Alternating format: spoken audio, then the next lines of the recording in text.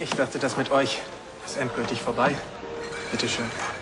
Ja, das dachte ich auch. Und dann habe ich gemerkt, dass mir doch nicht ganz egal ist. Hm, das klingt ja nach Versöhnung. Erstaunlich, dass Jessie nicht schon zwei Stunden vor eurer Verabredung hier war. Wahrscheinlich haben sie Tanja und Clarissa mit den Händen am Schreibtisch festgenagelt. Hoffentlich ist es nur das. Sie hat heute Morgen einen Schwächeanfall. Ey, ruf sie besser mal an. Naja, aber es sieht so aus, als ob Vater eine Lösung gefunden hätte.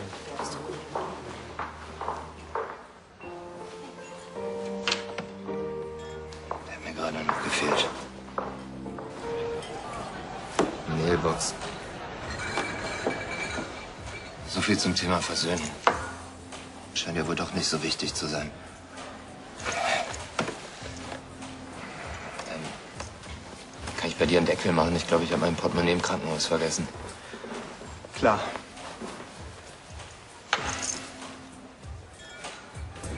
Sag mal, sollen wir später noch ins Kino? Dieser neue Zombie-Roboter-Film soll echt der Hammer sein. Sagt wer? Andy, unser Filmexperte mit dem exquisiten Geschmack? Nein, das sagen die Kritiken.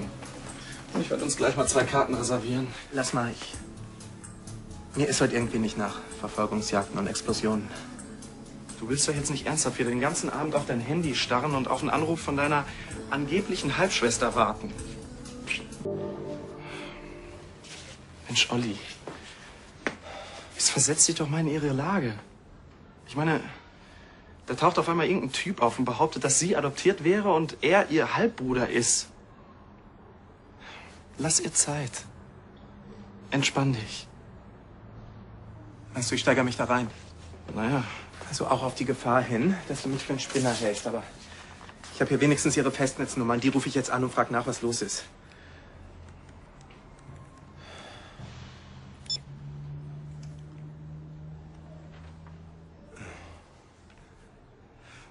Hallo Bella, Olli Sabel hier. Also, du weißt schon, der Typ, der behauptet hat, dass er dein Halbbruder ist. Du ruf mich doch bitte mal an. Ich, ich gebe dir sicherheitshalber nochmal meine Nummer. Mensch, Olli, ich will doch einfach nur nicht, dass du enttäuscht bist. Du steigerst dich da so in eine Sache rein, obwohl... Obwohl noch gar nicht sicher ist, dass sie wirklich meine Halbschwester ist. Aber weißt du was? Ich, ich habe wirklich das Gefühl, dass sie sein könnte. Und ich würde es dir auch wünschen. Aber du kannst eh nichts anderes tun, außer abzuwarten.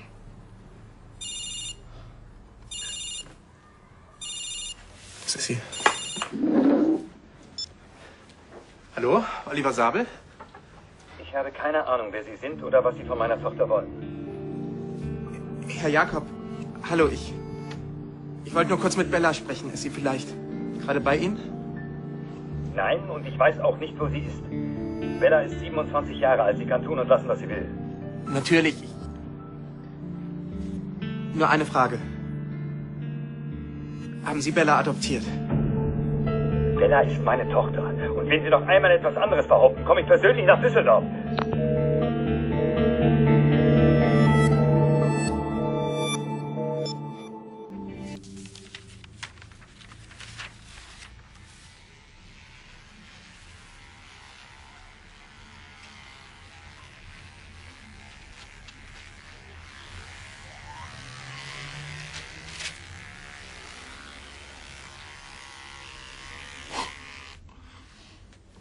Zahnpasta fast alle.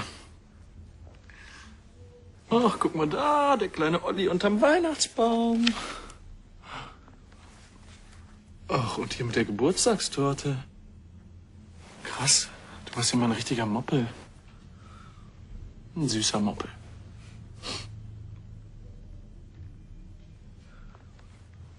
Das sieht alles so normal aus. Ich kann mir einfach nicht vorstellen, dass mein Vater wirklich was mit einer anderen hatte. Tja. Wenn ich wenigstens mit Charlie reden könnte.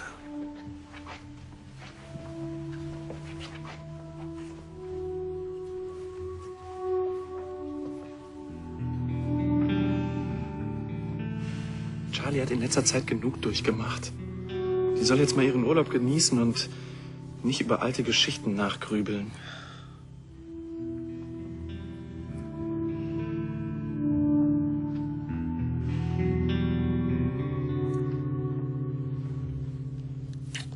Nacht. Nacht. Ich bin noch hellwach. Ich komme später nach, ja? Schlaf gut.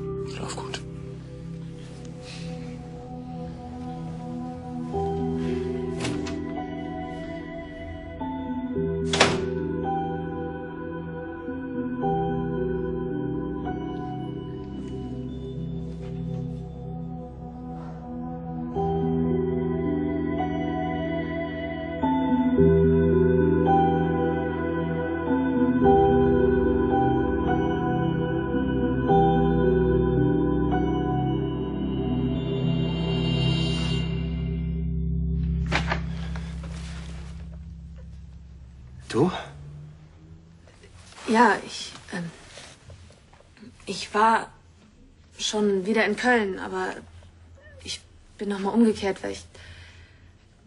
Ich dachte, ich muss noch mal live mit dir reden. Wieder umgekehrt, das heißt, du warst schon mal hier. Ja, heute Nachmittag, aber das, das hat sich einfach nicht ergeben. Das ist ja auch egal. Ähm, Hauptsache, du bist jetzt da. Was nicht heißt, dass ich das Ganze mit der Adoptionsgeschichte jetzt glaube. Im Gegenteil. Ich will, dass das aufhört. Was? Mein Vater hat mich angerufen. Der ist vollkommen ausgeflippt, als er die Sache mit der Adoption gehört hat. Hab ich schon gemerkt. Das ist ja kein Wunder, oder? Kannst du dir vorstellen, wie er sich damit fühlt? Wie geht's dir damit? Was denkst du? Wenn er sagt, ich bin seine Tochter, dann. Dann stimmt das. Wenn du dir so sicher bist, warum bist du dann hier?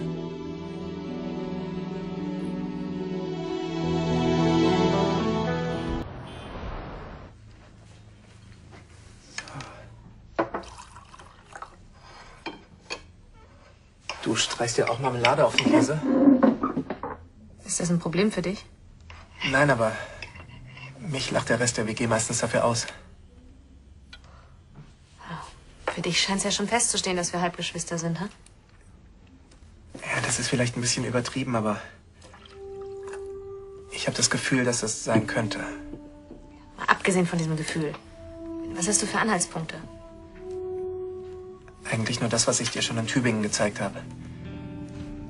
Den Brief deiner Adoptiveltern an Clarissa von Anstetten. Erst habe ich gedacht, sie ist deine Mutter, aber sie hat die Adoption nur für eine Freundin eingefädelt. Und was noch? Das Foto, das ich dir schon gezeigt habe. Das hier. Genau. Und das bin angeblich ich und dieses Stofftier da hinten kommt dir total bekannt vor. Darf ich vorstellen? Lumpi.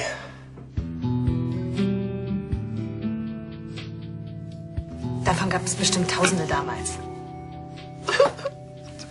Das hat sie nicht so gemeint. Du bist ganz einzigartig. Du bist echt ein Spinner. Da bist du nicht die Einzige, die das sagt. Okay, fassen wir einfach noch mal zusammen, ja? Ein Gefühl, ein Foto und ein Stofftier. Also wahnsinnig viel ist das nicht. Ich würde dir hier auch lieber eine lückenlose Beweiskette vorlegen. Hast du denn nicht schon mal an die einfachste Lösung gedacht? Die da wäre? Warum fragst du nicht einfach deinen Vater? Das würde ich ja gerne, glaub mir, aber mein Vater oder jetzt ja vielleicht unser Vater, der ist vor 15 Jahren gestorben. Bella, seit ich von dir weiß, da da frage ich mich auch, ob er von dir gewusst hat. Und wenn ja, was hat er gedacht, was hat er gefühlt? Stopp.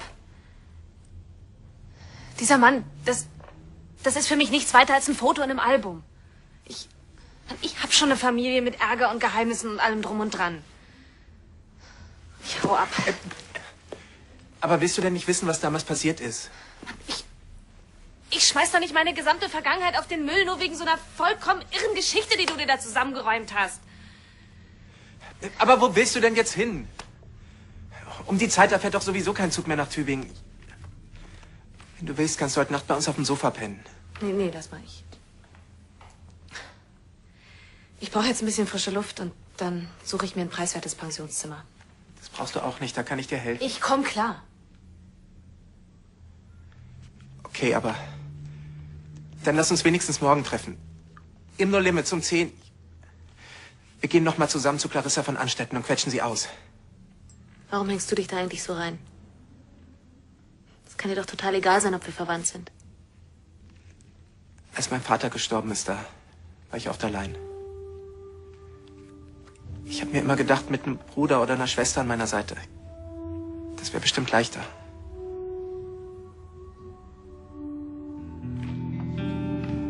Wir sehen uns morgen früh.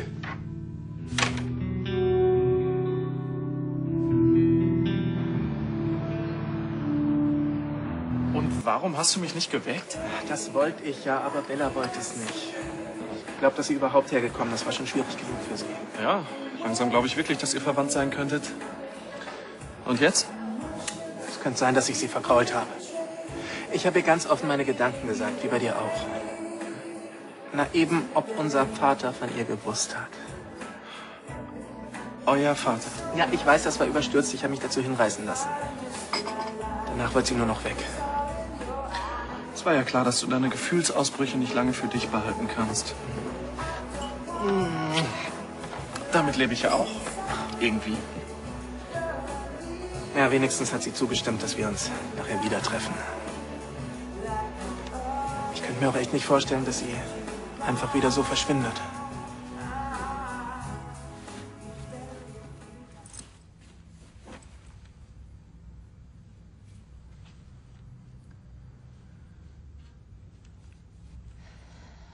Papa, was gibt's?